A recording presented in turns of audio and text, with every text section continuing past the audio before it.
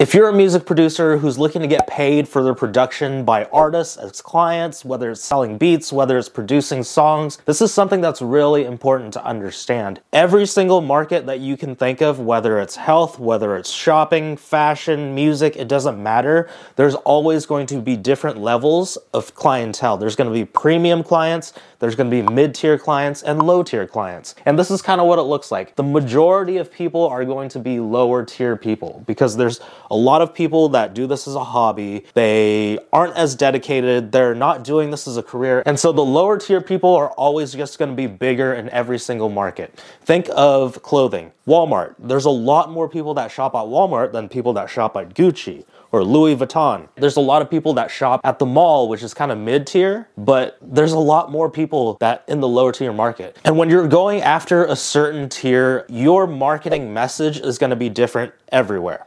If you think of a Walmart ad, what they do is they always promote how heavily they discount things, how good their prices are. If you look at a Rolex, Ferrari, Lamborghini, it doesn't matter. The more premium markets, they don't talk about price.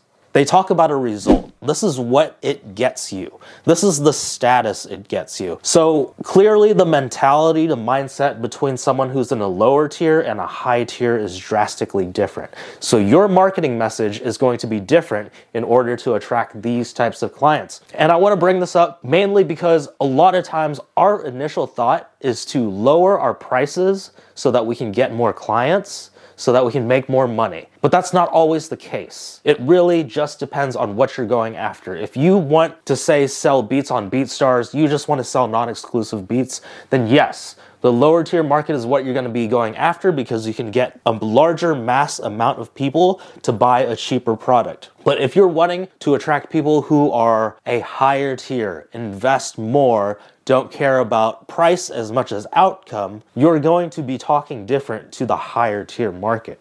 You're going to be talking about what kind of solution they can get if they work with you. You're going to be talking about the outcome, the result that they're going to get.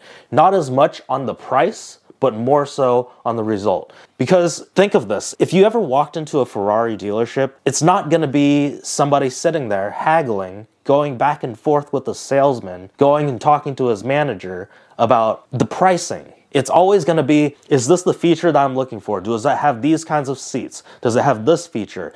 This is the exact color I want. Okay, I will pay for it. I will buy it. Doesn't matter. There's not really a negotiation. So the mindset, the mentality is just different.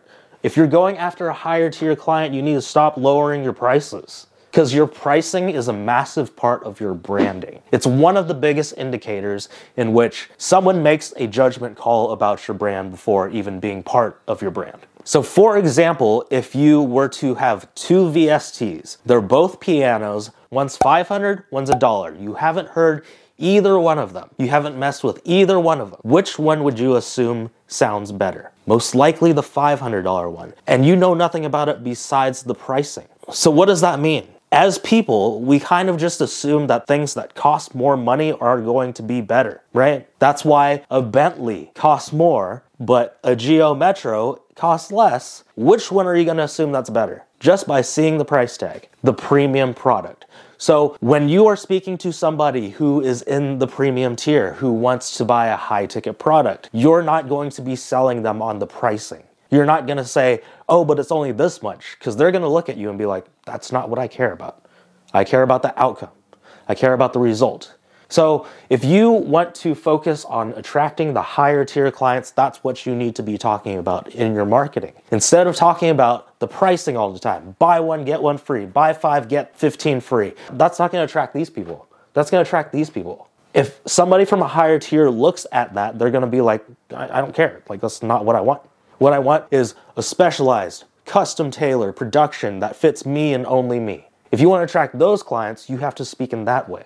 You have to speak about what it's like right now for them to not have that solution. This is what your music sounds like right now because if you're getting beats off of BeatStars, you're doing non-exclusive licensing, you're probably running into this issue. You record the perfect song to a beat that you liked, you bought it in non-exclusive and you recorded the perfect song. But then after you released it, you put all this effort into it. You are scanning through beats online and all of a sudden you hear another rapper on the same beat as you. And then you go back and you try to buy the exclusive, but the exclusive is already sold to this other artist. So that is a pain point that an artist in a higher tier would have, but a person in a lower tier would not. Now, if somebody was in a lower tier as an artist, they would hear that and they'd be like, that's okay, doesn't matter, right? Because it's not a big deal to them because their career isn't as big of a deal to them as somebody in a higher tier. That's only a problem a person in the higher tier would have. And if you speak that in your marketing, guess who you're going to attract?